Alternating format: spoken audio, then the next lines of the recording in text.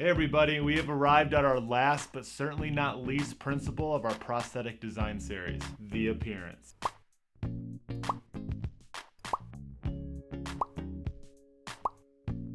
This principle is usually placed on a higher level of importance than others we've discussed since it's what you and others see. It can have a large impact in how you feel about yourself and how others may see you. A lot of my prospective clients will tell me their desire for a prosthesis is based on having a normal appearance. We tend to fixate most on the appearance of things, and that's normal. I look at appearance in a more relative way. I often like to refer to it as the acceptance of your prosthesis, and there's a spectrum. This is a very personal issue.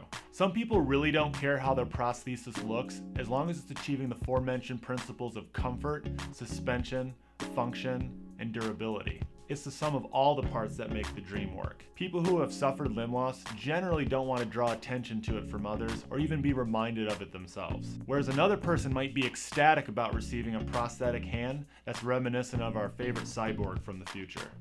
Listen to me very carefully.